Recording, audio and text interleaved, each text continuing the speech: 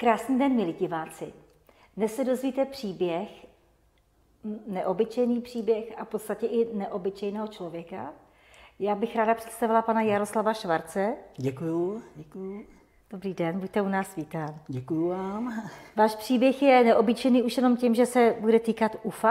Ano, ano. A setkání eh, s mimozemskou civilizací nebo s mimozemskými civilizacemi. Ano. A vy jste vyprávěl v zákulisí, že už od 12 let jste začal prožívat takové ty setkání. Ano, to je pravda. Tak vzpomínám si na můj první příběh. Eh, bylo to v prosinci roku 1972, to mě bylo akorát 12 roků. A začalo to snem. Zdál se mě u nás doma sen, bylo to v ložnici. A bylo to k ránu a v tom snu prostě se mně zdálo, že najednou stávám jako z lože a jdu k oknu a najednou vidím na naší zahradě takový zajímavý těleso, který mělo tvar jako vejce veliký a byly tři nohy z něj, kovový, jako takový trojnožky a nahoře byly dveře. A teď koukám a najednou vidím, že na naší zahradě lyžujou na lyžích takový dvě záhadné bytosti. Ta první bytost měla takový ptačí zobák, vypadala jako čáp nebo jako volavka a ta druhá bytost vypadala jako z Egypta, ze starého, jako nějaký bůh mumifikač, měl takovou zajímavou masku na sobě. Ano. A to jsem ještě nevěděl, jako, co to znamená. A teďka najednou koukám a ta bytost s tím zobákem eh, jako se na mě podívala a jako zá, záhadně z voka jí vyšlehli takový modrý jako paprsky, ona zavřeštěla a to bylo tím, že si mě všimla, že ji vidím a tak jako ty líže sundali a honem běželi k tomu korábu, rychle vystoupili do korábu a vyšlek z něho oheň takový, a to těleso celý odlítlo i s nima jako k východu. No a já jsem se probudil a povídám, to byl podivný sen, jako jo, tohle jsem v životě jako to. No a tím začala taková první jako kapka v mém životě a to už jsem chodil do šesté třídy a už jsme měli dějepis, a vzpomínám, že pak ke konci roku v tom dějepise jsme se učili o starém Egyptě. A teď koukám a tam byly vyobrazeny přesně tyhle dvě bytosti, jo, které jsem viděl na ty zahradě. Tak jsem si říkal, je, tak oni přece existují. Tak ten sen mě nelhal, tak něco musí takového být. Jo. A tím to jako začalo a pak asi o, o rok a půl nebo o dva roky později, nebo o rok a půl, bylo to nějak červenci 1974 eh, měli jsme ten den jet ráno do Sence. To je jako takový letovisko u Bratislavy. Mm-hmm. Tam můj otec jezdil jako s mamkou ze závodu to. A já jsem tu noc šel brzo spát, bylo asi 8 hodin a usnul jsem normálně a pak jsem se probudil večer a bylo, koukám na budíku půl jedny, jako, a bylo otevřené okno v ložnici, byla teplá noc, červencová, na nebi svítily hvězdy a jak tak koukám tím oknem, jak jsem byl probuzený, najednou vidím, že ve směru C. Rychnov nad Něžnou, jako od horizontu vylítlo záhadný kulový jako malý těleso, vypadalo to jako hvězda. A ta letěla nahoru a najednou zůstala stát na tom nebi. Já jsem povídal, to je divný, letadlo to není, protože letadlo nemůže zastavit a být na jednom místě dobu, že jo, musí pořád letět. A teď koukám na to a najednou to zhaslo a já podám táka je po zážitku, ale za chvíli jsem slyšel podivný zvuk, takový hvízdavý, a teď vidím, že k našemu domu, jako nad náš dům, že prolítlo nějaký záhadný těleso malý, vypadalo to jako půl klobouku. Prostě na to si přesně pamatuju. A zmizelo to a za chvíli zase ten bod se rozsvítil, jako na tom stejném místě, ta hvězda. A tohle se opakovalo třikrát a když třikrát to těleso odlítlo, tak ta hvězda zhasla, nebo to, ten kulový bod a už se to víc neobjevilo. No a já vzpomínám, že ráno, když jsem se probudil, tak jsem prostě jako, jako rodičům to vyprávěl, jako, a ty říkali, no to se ti něco zdálo. Já povídám, ne, to bylo jako pravdivý, jako živý, je to opravdový. Tohle tím letím to jako by skončilo, ty zážitky, a Potom přišel rok 79 a to vzpomínám, že jsme tenkrát jsem jel s rodičema do Třebíče na chatu Opatůvku, tady blízko Třebíče, tam jsou vesnice Podsoucov, Trnava a tahle chata Opatůvka se nachází, je to u rybníka Opaťák, vedle je ještě Vlčapín jako rybník No a vzpomínám, že ten den ještě mě něco řeklo a jdu do lesa. A já jsem dřív taky chodil do toho lesa, tam bylo hodně hub. A vždycky jsem přešel takovou křižovatku jako silnici a šel jsem do toho borovicového lesa. Tam je krásná jako příroda, jsou tam takový kameny ledovcový a to. A rostou tam zajímavé i byliny. Jako. No a tentokrát se stalo něco neuvěřitelného. Když jsem došel na tu křižovatku, na tu silnici, tak místo, abych ji přešel, jo, a šel jsem dál do toho lesa, něco řeklo stop.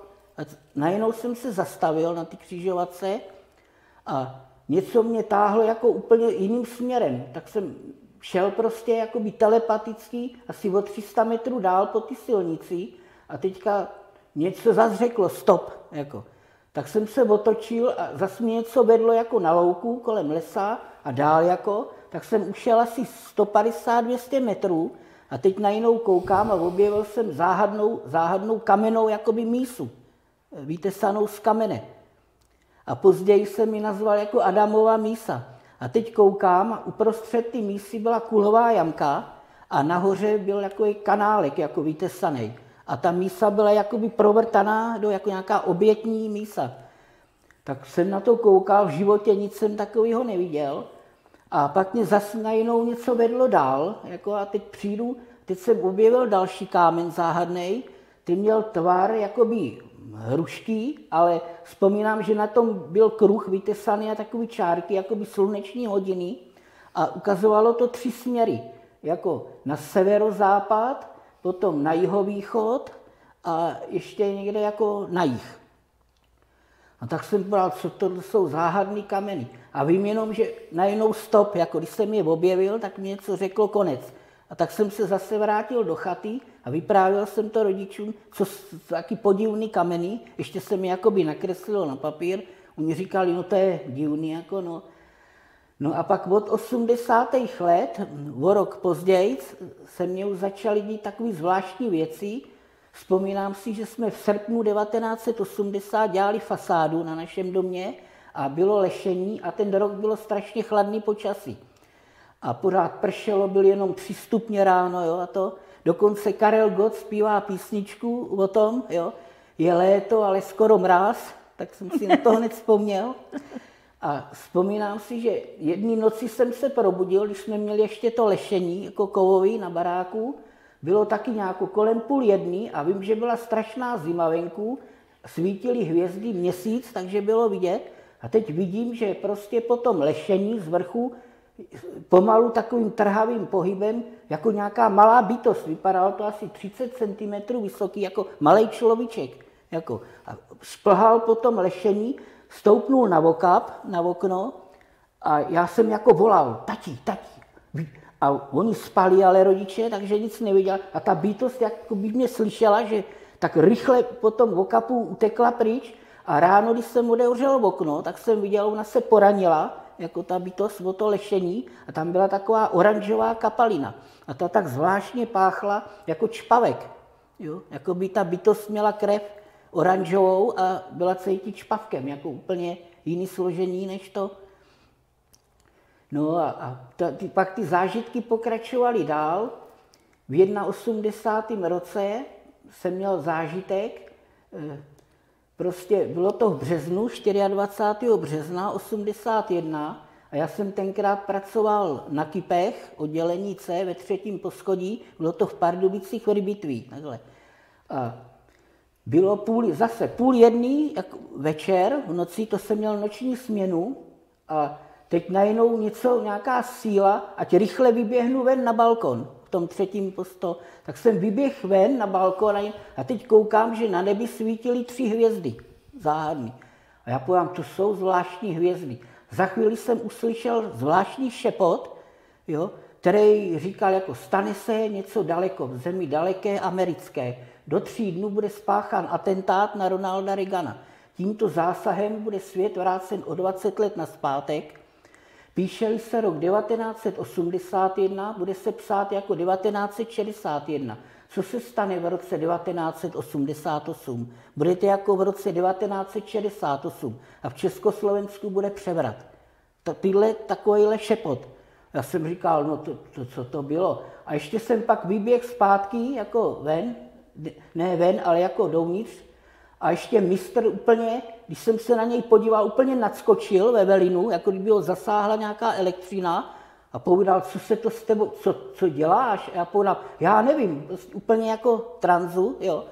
No a představte si, přesně do tří dnů byl spáchaný atentát, potom to mluvili v rádiu, to, že byl spáchan atentát, na, já půjdám, víc jsem to o tři dny věděl nakoby napřed, jo, jenom jsem si to nedovedl, co to je jako. A skutečně se to splnilo. Hmm. No a potom v tom roce 88 skutečně tady byly velké změny politické, no takhle. No a ty záhady pokračovaly dál. Přišel rok 82 a celý ten rok od 16. dubna 82 až do listopadu 82 byla krásná modrá obloha, svítilo sluníčko porád, byl to strašně slunečný rok. A já ještě jsem si vzpomněl na jeden zážitek z 81. bylo to v pondělí 7. září 81. Já jsem spal, můj postel byl jako u elektrické zásuvky a bylo to právě v pondělí toho 7. září, svátek měla Regina a vzpomínám si, že najednou jsem viděl tři takové oranžové koule jakoby na východě, na nebi. A za chvíli z ty elektrické zásuvky jakoby vyšlehlo nějaká energie, ucítil jsem strašnou bolest hlavy jako, a srdce, jako by mě zasáhla tuhle půlku. A to jsem ještě nevěděl, co to znamená. A já vím, že jsem běhal po kuchyni a po barák, byl jsem úplně jako zásah nějakou elektřinou, jako by elektrický transformace nějaký. A to jsem nevěděl ještě všechno, co se bude dít potom. No a pak v tom 82. bylo to 16. srpna 82, to bylo v pondělí, a my jsme tenkrát byli v Tutlekách u děrí a když jsme přijeli domů, tak jsem koukal do novin a teď na jinou koukám a teď říkám, ježiš, dávají za, zajímavý film na druhém programu. To byly ještě dva televizní programy. A ten program se jmenoval Písničkový mezinárodní koktejl, film televize NDR, přímý přenos. A on začínal ve 20.35 a končil za půl hodiny ve 21.05. A my jsme přijeli v 9 hodin. Až a já povídám, je ještě pět minut to bude, tak jsem to přepnul a ještě jsem to zachytil, ten program. A teď najednou, když ten program končil, najednou blikla televize a začaly se tam objevovat záhadný jako obrazce, jako trojuhelník s modrým bokem, šíp, duha, pak takový záhadný jakoby duhový záře. Jo.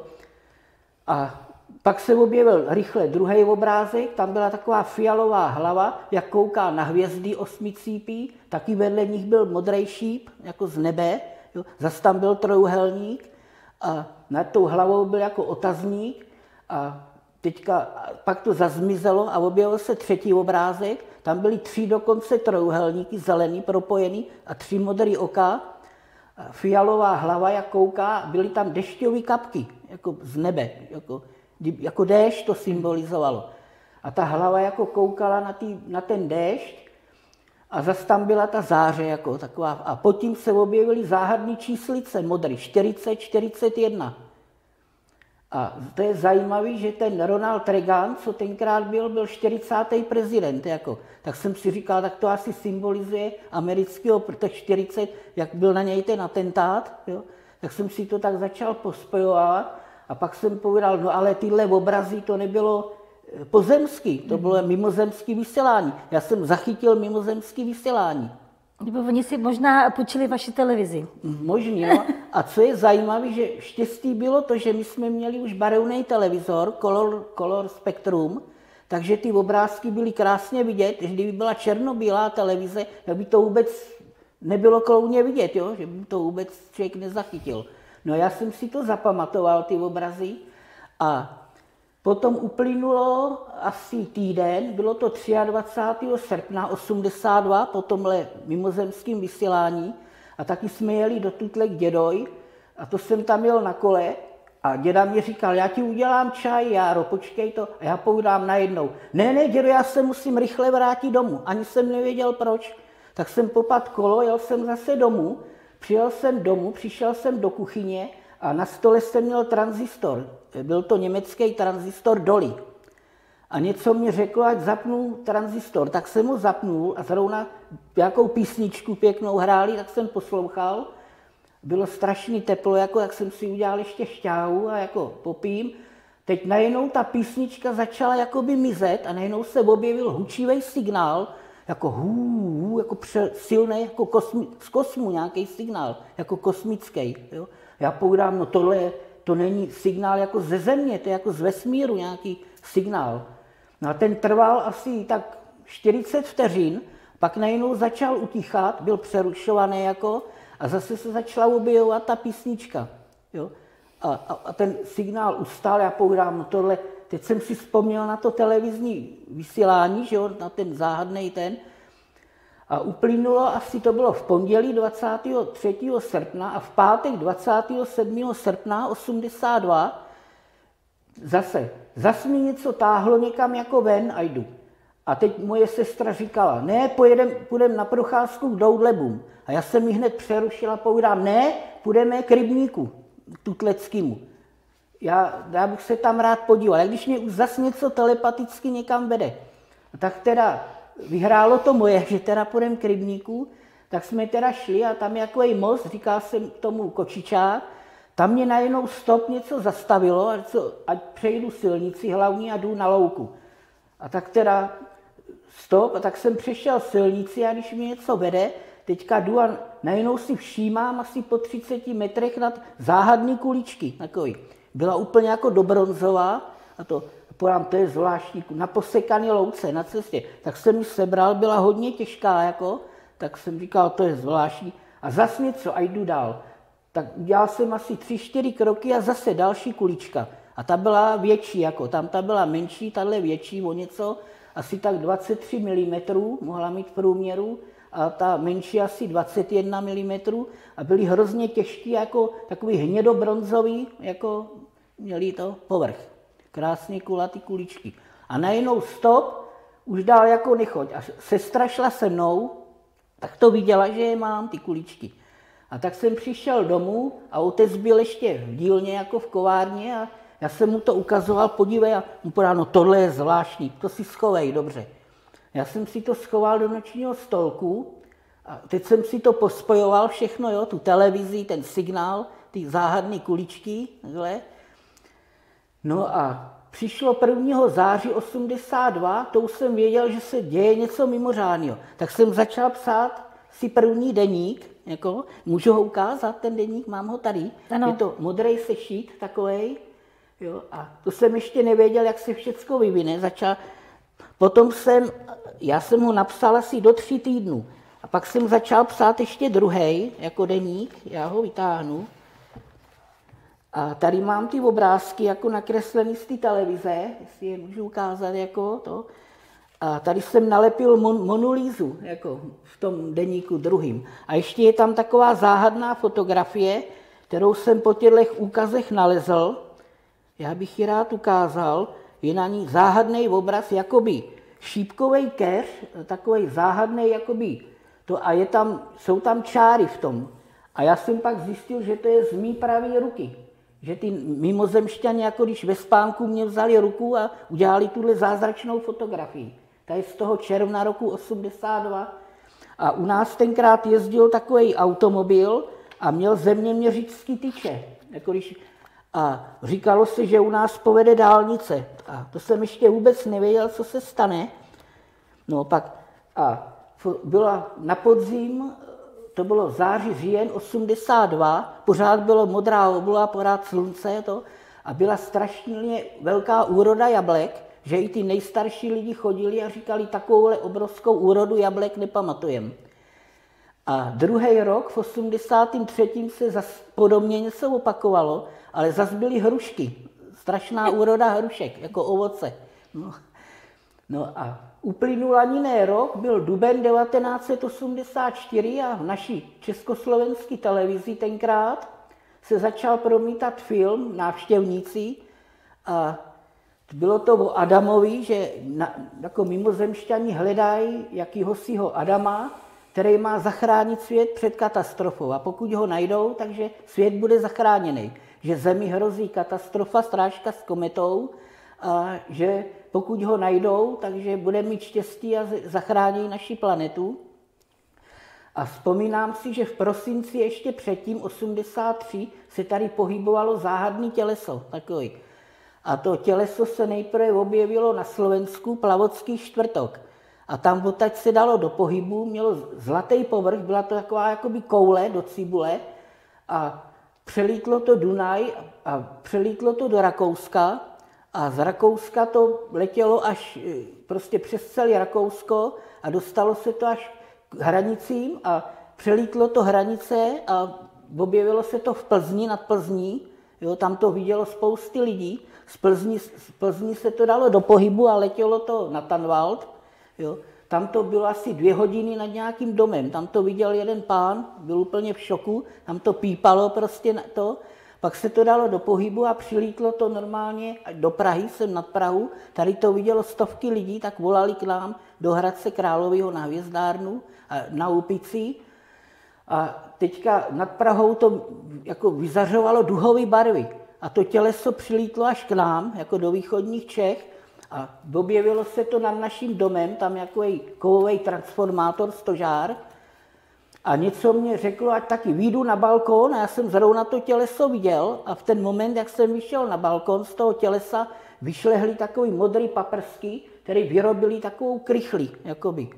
A teď já vidím, že vyrábí jako nějakou postavu a teď udělali jako, bych to byl já, úplně stejný, jakoby mou nějakou postavu. A viděl jsem, že jsem jakoby přikrytej v takovým modrou, modrou plachtou a nade mnou bylo ovoce, modrý jablko, hruška a za chvíli se objevil nápis Adam 84. Pak se to rozprsklo jako, a to těleso zmizelo v mracích. A vím, že se změnila tenkrát podnebí, že najednou začalo chumelit, úplně změna jako podnebí. A než jsem to těleso jako ještě spatřil, tak jsem měl na nočním stolku tranzistor, byl to polský tranzistor, značka Domino, a najednou se z něj začalo kouřit prostě bílej opar. Jo? A já povídám, co se to děje. Najednou se rozstavily baterky v tom transistoru. Úplně to. A pak jsem viděl tohle těleso. Oni jako by vysáli elektřinu z toho transistoru nějak. A ještě dodnes to je na tom transistoru vidět. Když to, tak to tam je vidět, jak ty baterky vytekly, jo, jak to tam je prostě ještě dodnes vidět. Tak mám to schválně skovaný jako důkaz. No. Ty zážitky jako pokračovaly a ještě si vzpomínám, že v tom 82. jak bylo v televizi ty záhadné obrazce, jak mě poprvé se nějakou telepaticky napojili na mě, jako když vysílali do televize tu zprávu, jakože to. A já jsem byl v šoku a podám, musím proto něco udělat, pro tohle. Musím to. A vzpomínám, že z začátku jsem nevěděl, co mám dělat. Byl jsem jako v, úplně v šoku. A pak nějako v březnu 83 mě napadlo, že bych mohl, prostě, prostě jsem si to nakreslil na papír, mám to tady nakreslený, že to jsou ty obrázky, bylo to takový, to mělo fixama bareunejma a povídám, musím pro tohle zprávu něco udělat, že vysílali do televize. A byl to film NDR, přímý přenos Berlína. A teď komu to mám předat, tu zprávu? Co, co musím pro to udělat, pro tuhle velkou věc? A teď úplně to a 1. září 82 jsem začal psát ten první deník, jo, a teď v tom 83. v tom březnu a vím, že jsem měl na Moravu, že tam jsou jako pobožní lidi hodně, tak jsem říkal, zkusím to tam, jestli se něco stane, nebo to, jenže tam tomu nikdo nerozuměl, že jo. A pak jsem jel, to bylo 10. května 83 do Prahy tady. A napadl mě Jirka Korn, Jiří Korn, že ho navštívím tak jsem navštívil, on bydlel v bytovce a skutečně jsem našel, kde bydlí, tak jsem tam zvonil, jenže on nebyl doma, vyšla jeho paní a já jsem mi to ukazoval, co se přihodilo, jestli by něco pro to mohl udělat. A teď mu napovídala, no ale eh, jako Jirka není doma, jo? on je na cestách. A já s tím, co já s tím mám společného, já jako proto nemůžu nic udělat, jo? A tak jsem se smutkem odjel domů a teď furt jsem přemýšlel, co, co musím pro to udělat, pro tuhle velkou věc. A asi o měsíc později mě napadlo, že pojedu ještě jednou na Moravu, to jsem měl někde k Brnu. a tam jsem vyhledal jednoho faráře, tak jsem mu to ukazoval, on povídá, no tohle je zajímavý, ale já s tím jako člověk nemůžu nic dělat, ale popřeju vám, aby se něco přihodilo, abyste měl štěstí nějaký. No a skutečně tam, jak jsem stál v Brně na tom hlavním nádraží, to bylo v červnu, 25. června, úplně taková, pocítil jsem nějakou nadpřirozenou jakoby sílu v sobě, jako nějaký duch, kdyby do mě stoupil. A tam mě napadla myšlenka, nejeď z Brna domů, ale jeď přímým vlakem, rychlíkem až do Prahy. A navštív Karla Gota, ten jezdí do Německa. A skutečně jsem měl tím rychlíkem až do Prahy, to bylo 25. června na večír, přijel jsem na hlavní nádraží a na nebi se objevila na západě taková obrovská růžovo-fialová záře, jako z nějakého vesmíru, nebo co, aby se odevřely nebesa, nebo já nevím. A cítil jsem v sobě strašnou sílu a tady probíhala akce za mír a bezpečí. A všude vysely bílé holubice, takový velký.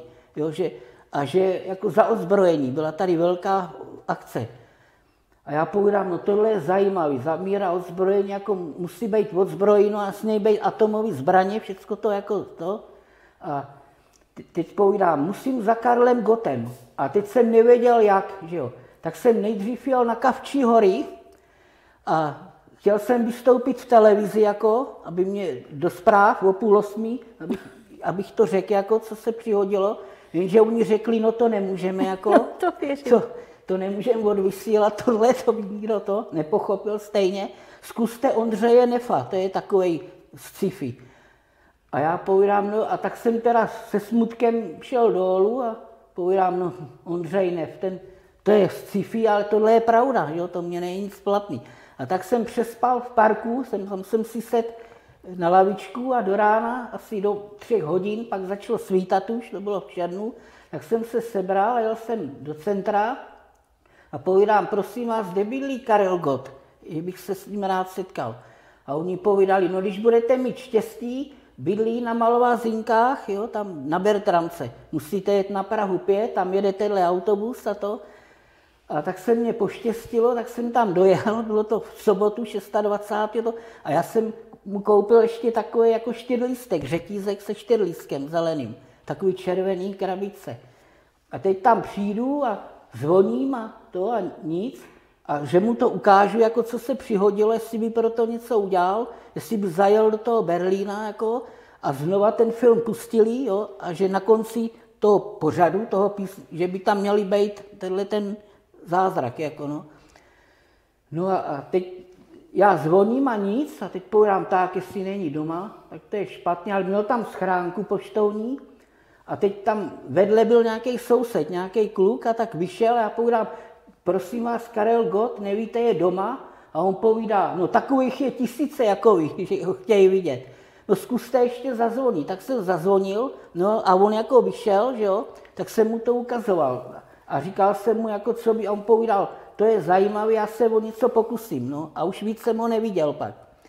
A tak jsem pak odjel domů, no a v říjnu 83 zase jsem byl v Tutlekách u dědy a on měl zaplou televizi a teď najednou ukázali Karla Gota, jak kráčí z těch, jak jsem tam byl, že z těch kavčích hor, má takovou koženou bundu a teď koukám, že měl ten řetízek s tím čtyřliskem. A teď začal zpívat písničku. Text téhle písni jsem psal já, tolik nocí sám a sám, a teď vážně. Tr... A to bylo z toho poselství. Tak Který jste mu předal. No. Tak to byla taková síla ve mně, že jak pán by do mě vstoupil, jo. No a pak v prosinci 83 zase zázrak z Berlína přímý přenos a tam to ukazovali všechno, tyhle ty obrázky a to. Přímo z Berlína Enka Slbuntes to bylo prosinec 83 a tam zpíval tuhle písničku, ale v Němčině, jako v německém překladu. A tahle písnička první, co zpíval u nás, tak se jmenovala text k téhle písni a v Německu to dostalo název Já jsem relativ vítr. No. A vím, že v Německu svítily ty barevné žárovky tenkrát u každého domu, že se mluvilo o nějakém poselství, duhové barvy všude, byly otevřeny hranice do západního Berlína, lidi mohli volně cestovat, 11 tisíc politických vězňů bylo okamžitě propuštěno a mluvilo se o zázraku, že dojde ke sjednocení zase Německa, že zbourají zeď a že se sjednocením Německa dojde ke sjednocení celé Evropy. No a to se skutečně pak později potvrdilo, že přišly obrovské změny politicky. Takhle. No, takže to poselství splnilo jako svůj úkol, ale ještě není vyhráno, protože ještě moc věcí potom se stalo. Začaly se od začátku 90. let objevovat v obilí záhadný obrazce, piktogramy. A já znám paní Toničku Plíškovou a ta právě píše o těch piktogramech. Dokonce napsala dvě knížky, jako Krása piktogramů v obilí. Takhle. Osobně ty knížky mám doma od ní, jako jsem u ní taky sehnal. No a tyhle piktogramy se začaly objevovat u nás. I Častolovicích, v Solnicích, jo, Česká Třebová. A v roce 2004 se objevil piktogram u nás, právě u Český Třebový. A ten měl, byl to největší piktogram u nás, to 4,5 metrů a skládal se asi z 26 kružnic. Jako, byl to největší piktogram vůbec. No, pak byly zajímavé piktogramy ještě v Solnici, to bylo v 96. roce, ten se objevil z 5. na 6. července 96. A to vzpomínám, že tenkrát lidi o půlnoci prostě v té solnici slyšeli, že jim někdo zvoní, prostě na tak vybíhali ven a nikde nikdo nebyl a najednou viděli takovou září, jako i paprsek, jak stoupá do pole a druhý den ráno tam bylo pět obrovských kružnic piktogramů, asi 32 a 28 metrů v průměru měli. A další den se zas, tu noc to opakovalo, zase kolem půlnoci najednou začaly zvonit zvonky.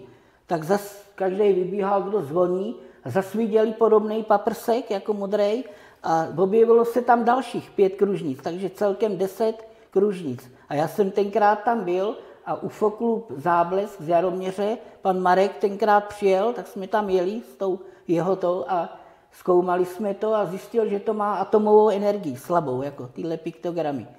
A předtím ještě rok se objevil u nás jeden piktogram, menší, ten měl 8 metrů v průměru, bylo to u Častolovic a ten dokonce zastavil čtyři kombajny za sebou. A zajímavé bylo, že oni sekali večír obilí a posekali by ho, prostě vůbec by ani nevěděli, že tam je, a najednou to se zastavili čtyři, nevěděli, co se děje, a nějaký hoch teda se skočil z kombajnu dolů a teď uviděl ten kruh, no tím se na to přišlo. Jako, no. A tak zjistili taky, že v tom je jako slabá radioaktivita. Takhle. Je to. No a od těch 90. let se hodně začaly tyhle piktogramy objevovat a právě v tom roce 1995 v červnu se objevil ve Velké Británii obrovský piktogram, měl asi 65 metrů v průměru a v tom byly vyobrazeny naše planety, jako, jako naše sluneční soustava, planety naší sluneční soustavy. A teď najednou koukají ty věci a zjistili, že tam, kde má být země naše, nebylo vůbec nic že naše planeta byla jakoby vymazána. Jako vážné varování pro planetu Zemi. To dostal ten piktogram. No a tak čekali, co se bude dít. No a přesně za dva roky na to letěla Halebopová kometa že jo, a přišly strašlivé záplavy na Zem tady. A tak to bylo varování pro naši Zemi, jako, ale ta kometa se začala přibližovat, už se začal i Mars jako zahřívat a to, už čekali lidi, že se stane nějaká hrůza, jenže americká NASA má nafilmováno, to jsem viděl na vlastní oči, že najednou za tou kometou se objevil obrovský svítící disk jako UFO a ten tu kometu doslova uhnul na jinou oběžnou dráhu. Takže nás zachránili. Hmm. Tak jsem byl úplně eh, zase, jako, jo, díky, že mě našli jak za odměnu, jako to, a já jsem zjistil, že mám na rukou takový záhadný znaky, tady na dlaní, to můžu ukázat, takový za, listy zelený, jako strom, jako strom života.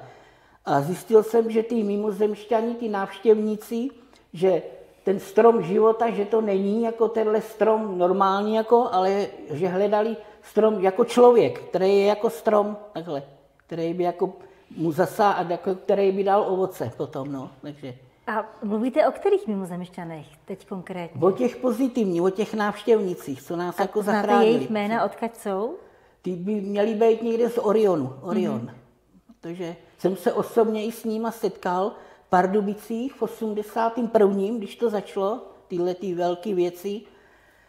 Bylo to v červnu 81 a v Pardubicích tam byl dům Prior, taková oranžová budova, teď to tam je úplně předělaný, jenže tenkrát tam byla taková úzká cestička asfaltová a po obou stranách byly lípy. Jako.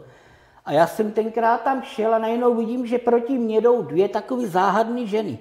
Vysoký asi dva metry, byly úplně stejný jako vejce vejci. Jako.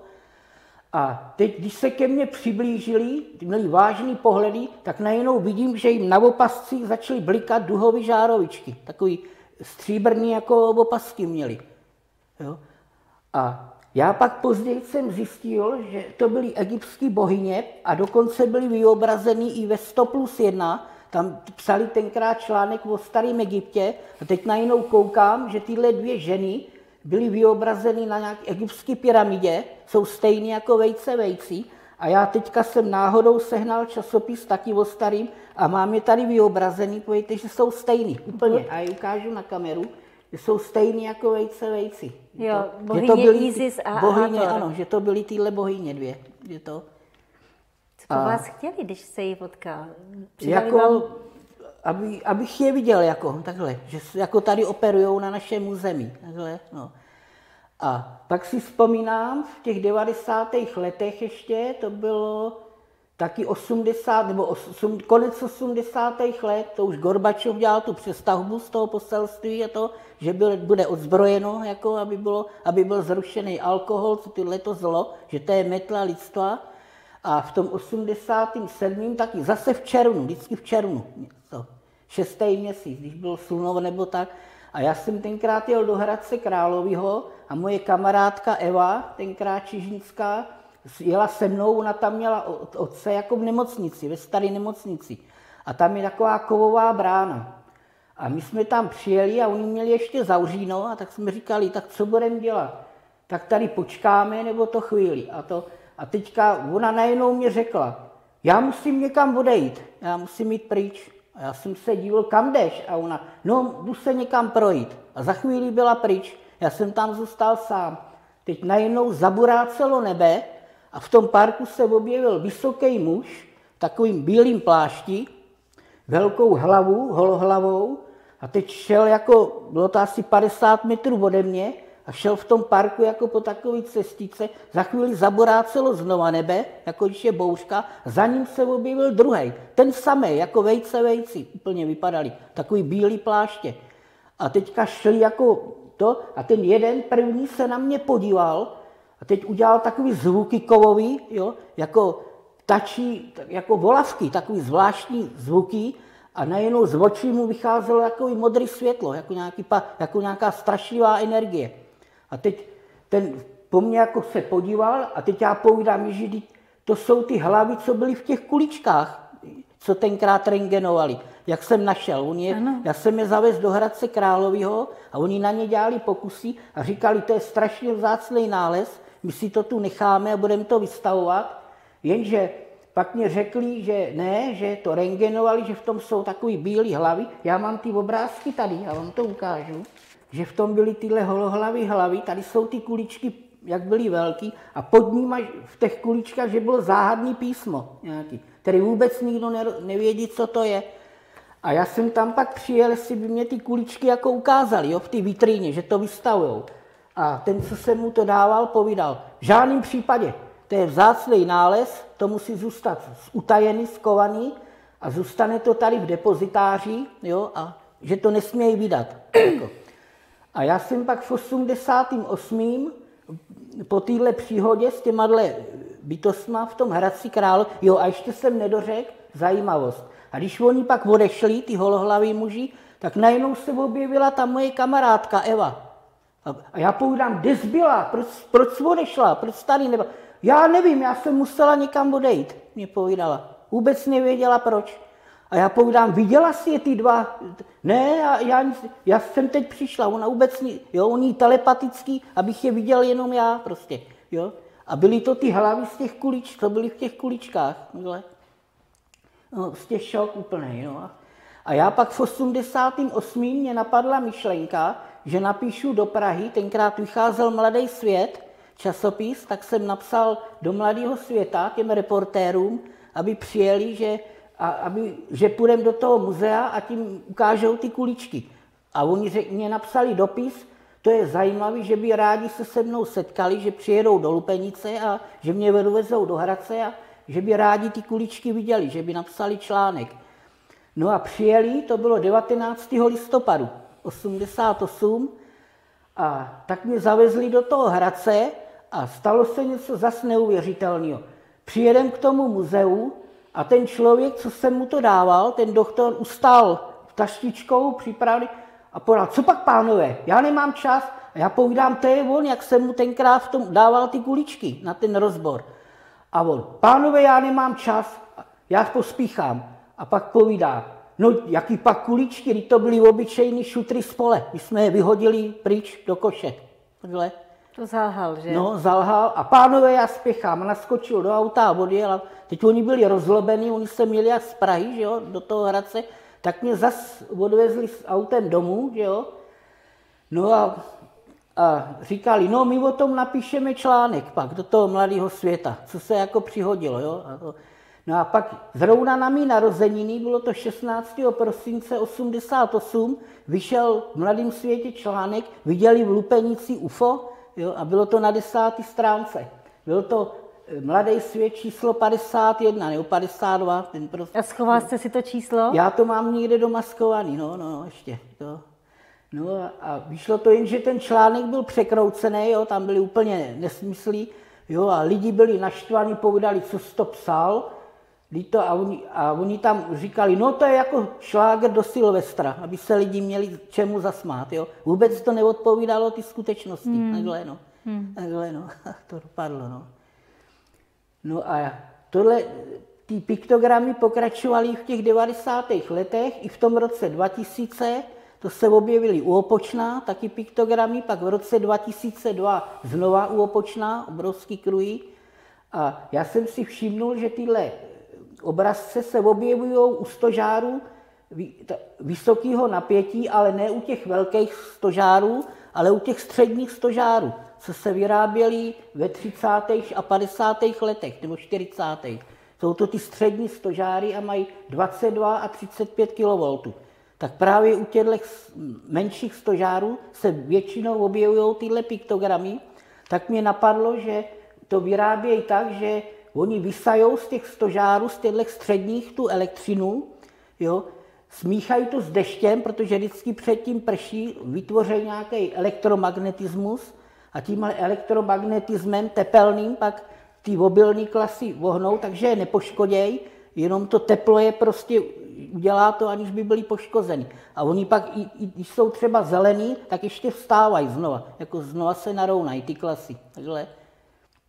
No a pak v roce 2014 mě napadlo, že bych mohl napsat knížku o tom, že bych to mohl všechno sepsat, tyhle mhm. příhody, mm-hmm. tak jsem jako se pokusil o první ten. A tohle už je čtvrtý díl a já je, jsem tam postupně... Je takhle. Jako, to už je ten posled, příběhy. příběhy, až z toho vznikla tahle knížka, jako takhle. Akorát říkal jste, že nemáte už moc výtisků. Ano, jenom 50 a to už jsem rozdal mezi ty naše baratele ufologii a takže ale pokud by měl někdo zájem, tak bych rád ještě jako tu knížku jako rozšířil a pro zájemce, kdyby měl někdo zájem, tak bych byl rád, kdyby to bych udělal ještě další výtisky, nechal udělat takhle. Ty poslední roky, děje se vám něco od toho roku 2014 2014, nahoru? to jsem pak 2015, 16 a teďka v loni 2019 napsal tenhle čtvrtý díl už, to ano, jako pokračování ano. a pořád to přidávám, když něco prožiju. Ano. Takhle. Ale dá se říct, že ta situace teď je taková jako, jiná než těch 80. Ano, 90. Ano, letech. Jako jinak, jinak to probíhá, ano. Možná úplně na závěr toho nesmírně zajímavého povídání, kdybyste nám řekl, jestli vám sdělili nějakou další zprávu nebo závěrečnou zprávu pro lidstvo, jak tady dopadne celá ta transformace.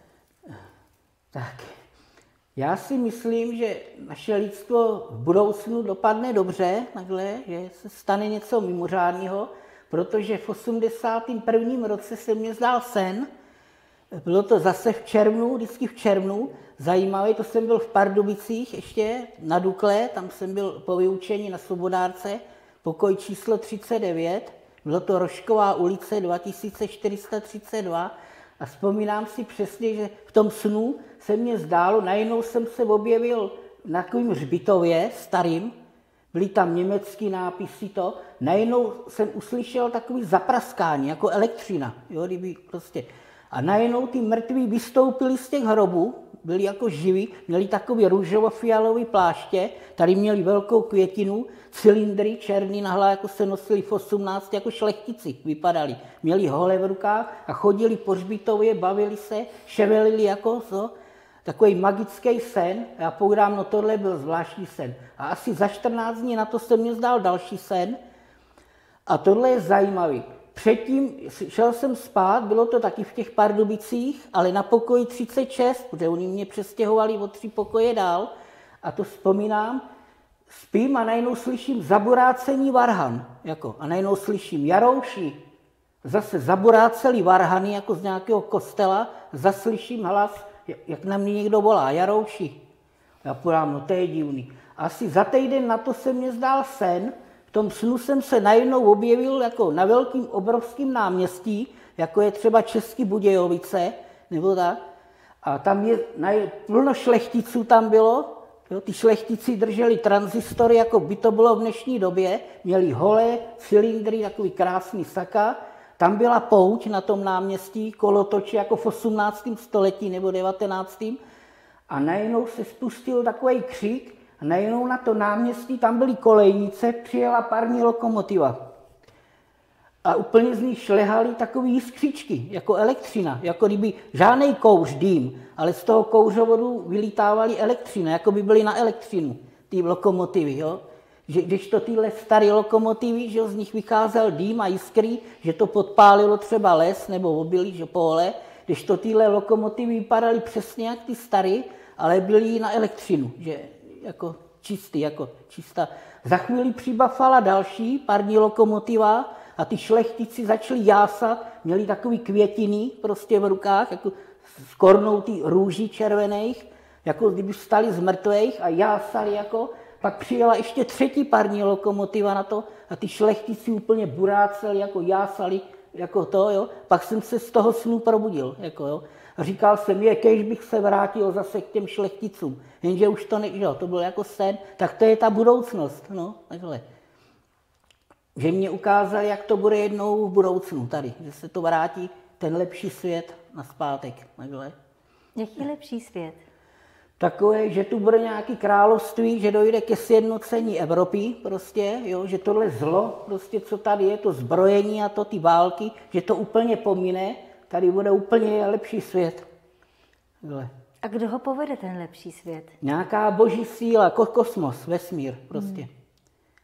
Hmm. Moc vám děkujeme, ať jste šťastný a zdraví. Hmm, děkuju, vy taky a když něco, tak se s vámi ještě podělím. Určitě. Dobře, budu rád.